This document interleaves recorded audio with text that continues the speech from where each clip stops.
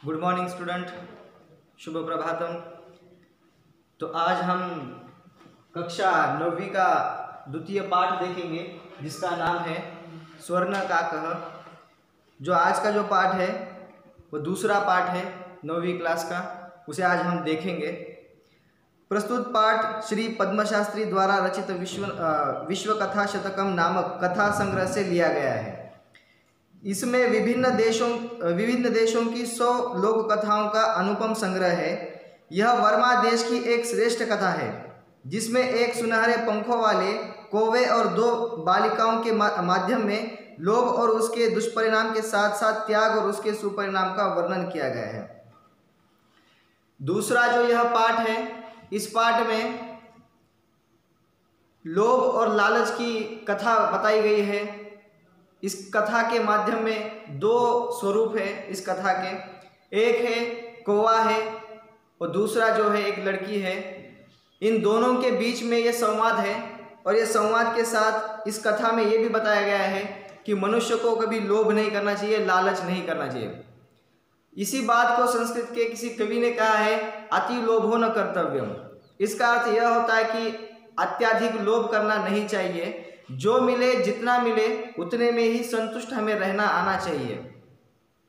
जीवन में हमारे संतोष बड़ा महत्वपूर्ण है। अगर हमारे जीवन में संतोष होगा सेटिस्फैक्शन होगा तो निश्चित ही हमारे किसी चीज़ को प्राप्त करने के लिए अग्रसर होंगे और उसे प्राप्त हम बहुत जल्दी कर पाएँगे। इसी बात का अगर मोटा उदाहरण देना चाहे तो हमारे भारतीय क्रिकेट टीम के जो कप्तान थे, महेंद्र सिंह धोनी इनका धैर्य के साथ बड़ा लगाव है। ये अपना जो भी काम करते हैं, जो भी कार्य करते हैं, उसमें इनका बड़ा धैर्य देखा जाता है। और बड़ी धैर्य के साथ ये बड़ी से बड़ी कठिनाइयों का और बड़ी से बड़ी समस्याओं का समाधान अपने धैर्य के कारण वो निकाल पाते हैं और भारत को एक परमोच्च स्थान पर ले जाकर पहुँचाने का जो कार्य उन्होंने किया है, वो सारा कार्य जो है और इस कार्य का जो श्रेय है, ये सारा उनके किए धैर्य के कारण ही प्राप्त हुआ है। और भारत का जो एक क्रिकेट का जो विश्व है, इसको एक अलग उपलब्धि तक पहुँचाने का कार्य जो किया है, महेंद्र सिंह धोनी के द्वारा अपने धैर्य के साथ किया गया है। इस पाठ में धैर्य का भी उल्लेख किया गया है, साथ में कहा है, और जो लालच है, उसका जो दुष्परिणाम है, इसका जो परिणाम होता है, जो लालच के कारण उत्पन्न होता है या पैदा होता है, उसका जो परिणाम होगा, वो बहुत ही कठिन होगा, बहुत ही भयंकर होगा इसीलिए इसको हमारे जीवन में हमें धारण नहीं करना है। जो लोभ है, उसे छोड़ देना चाहिए। जो संतोष है, उसे हमारे जीवन में धारण करना चाहिए। और आज की जो कथा है, जो ये पाठ है, द्वितीय पाठ, स्वर्ण का कह, ये जो पाठ है डॉक्टर श्री पद्म शास्त्री द्वारा रचित विश्व कथा शतकम नामक एक कथा संग्रह से यह बुक है इनकी, जो विश्व कथा शतकम नामक से प्रसिद्ध है। और इस कथा ग्रंथ कथा ग्रंथ में पूरे देश की सौ से भी अधिक लोकप्रिय कथाओं का इन्होंने संचय इसमें किया हुआ है।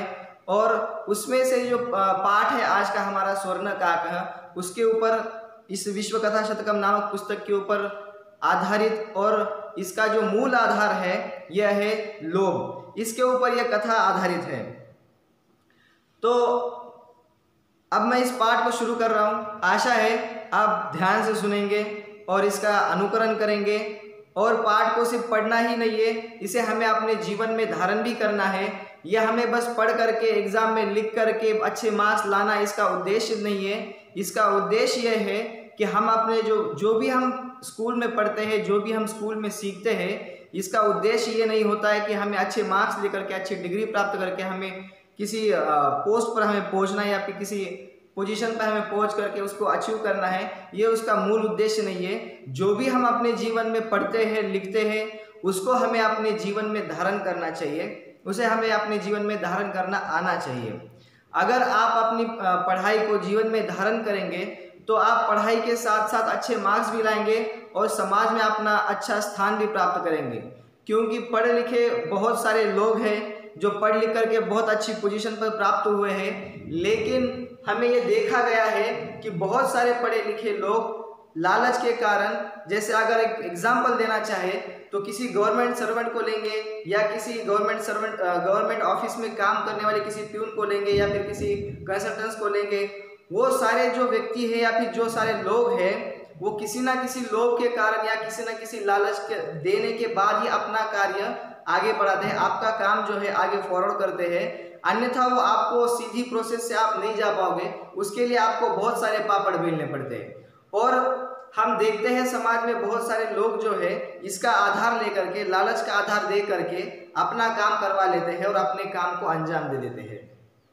आज का जो पाठ है, ये लोभ के ऊपर है तो निश्चय ही आपको इस पाठ का जो छोटा सा एक सारांश है, वो आपको समझ में आया होगा। अब हम इस पाठ को हम आगे बढ़ाते हैं। पुरा कस्मिश्चित ग्रामो एका निर्धना वृद्धा स्त्री निवसत तो ये कह रहा है कि पुरा कस्मिश्चित ग्रामे, प्राचीन समय में किसी गाँव में एक निर्धना वृद्धा निवसत एक निर्धन स्त्री रहा करती थी।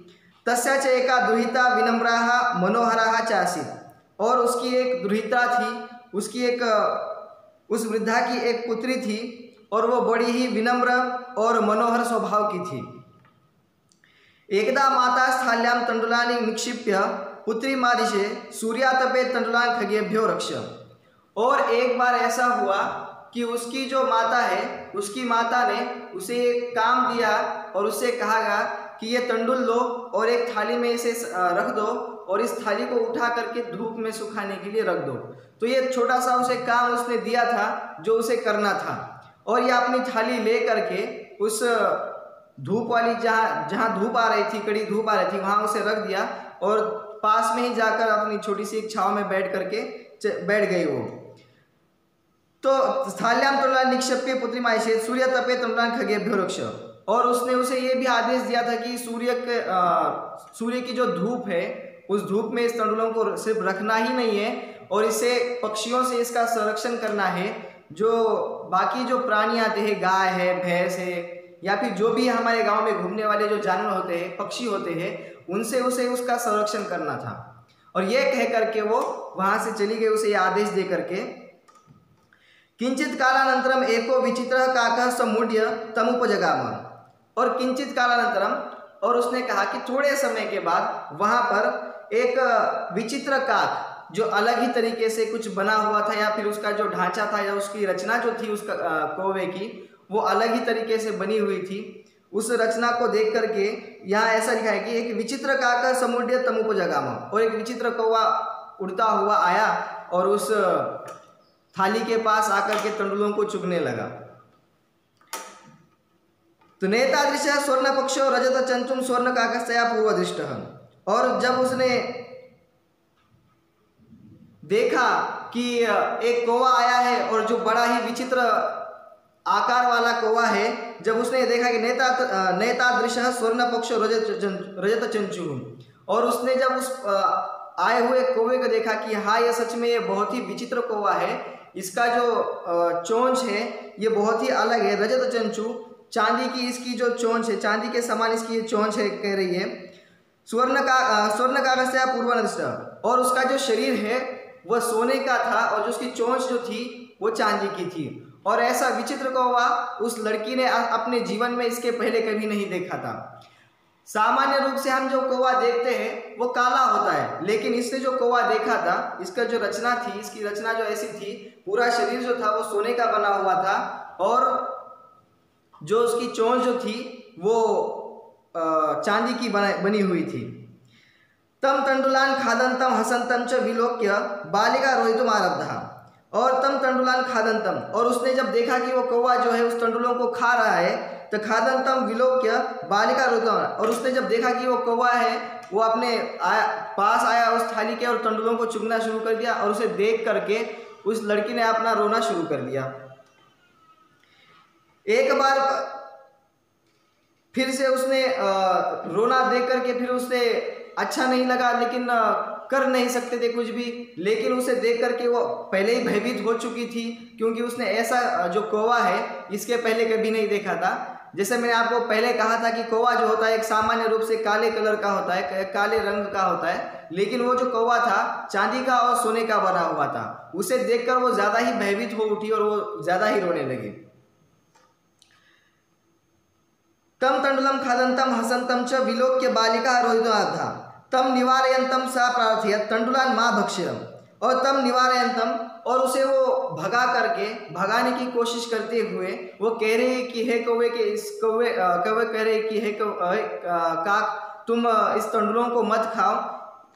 तो मरिया माता अतीव निर्धना होते, और उसने जब उसे कहा कि ये तंडुल जो है चावल जो है, तुम मत खाओ, क्योंकि हमारी जो माता है, वो बहुत ही निर्धन है, गरीब है, इसलिए तुम कृपा करके हमारे इस जो तंडुल है, जो चावल है, इनको तुम मत खाओ। स्वर्ण पक्ष काक प्रोवाच मा शुच सूर्यो सूर्योदयात प्राग ग्रामात बही पिपल वृक्ष मनु त्वयामा गंतव्यम और कौवा उसको प्रत्युत्तर कहते हुए ये कहता है कि तुम बिल्कुल ही चिंता मत करो इसका जो मूल्य है, इसका जो पैसा होता है, ये मैं तुमको दे दूँगा। तुम निश्चिंत रह करके मुझे तंडुल खाने दो, ऐसा वो कह रहा है। सूर्योदय काका प्रवाच सूर्य सूर्योदय प्राग ग्रामात बही पीपल वृक्ष मनु त्वमागच्छ त्वमागंतव्यम और उसे वो कहता है कि सूर्य उदय होने के बाद गाँव के बाहर जो पीपल का जो वृक्ष लगा हुआ है, उस पीपल के वृक्ष के नीचे तो तुम आ जाओ, ऐसा उसे वो कह रहा है। और अहम तुभ्यम तंडुल मूल्यम दास्यामी, प्रहसिता बालिका निद्रामपी न लेभे। और जब उसने ऐसा कहा कि सूर्य उदय होने के तुरंत बाद तुम अपना जो गाँव के बाहर जो पीपल का जो वृक्ष है, वहाँ आकर के तुम अपने जो मूल्य है, इस जो चावल का जो मूल्य है, उस चावल का मूल्य तुम ले लो, ऐसा उसे वह कह रहा है। और ऐसा कह करके वो प्रहर्षिता बालिका निद्रा मापी न ले भे तो इस खुशी में वह लड़की जो है रात भर नहीं सोई और उसने जो है, अपने रात भर जाग करके उसने सुबह होने की इंतज़ार की और सुबह होते ही वो उस ओर चली गई। इस दो जो हमने जो आज जो गद्य पढ़े हैं, इस दो गद्यों में जो संधि आई है, उसका यहाँ पर मैं आपको उल्लेख करूँगा। यहाँ पर तस्याचय का एक संधि है, उसका संधि विग्रह होगा, तस्या प्लस च प्लस ए का, ऐसा उसका विग्रह होगा, तंडुलान अधिक्षिप्य, इसका विग्रह होगा, तंडुलान प्लस निक्षिप्य, पुत्री मादिशे तो इसका विग्रह ये होगा, पुत्रिम आदिशे है सूर्या तपे इसका विग्रह होगा, सूर्य प्लस आतपे है, ताम उपजगाम, इसका विग्रह है, ताम प्लस उपजगाम, नैतादृश, न प्लस एतादृश, रोदितुम आरब्धा, रोदितुम प्लस आरब्धा ऐसा इसका संधि विग्रह, यहाँ पर इस दो गद्यों में जो संधि विग्रह था, ये जो आपको मैंने लिख करके यहाँ दिया हुआ है, घर पर आप इस पर, इसको लिख कर ले सकते हैं। और इस पाठ से संबंधित जो भी आपका जो होमवर्क है, या भी जो भी आपका जो गृह कार्य है वह आपको वीडियो के द्वारा और पीपीटी के माध्यम से और होमवर्क के माध्यम से आपको पीडीएफ के द्वारा आपको घर पर पहुँचाया जाएगा। तो आज का जो पाठ है ये यहीं पर समाप्त होता है। ओम शम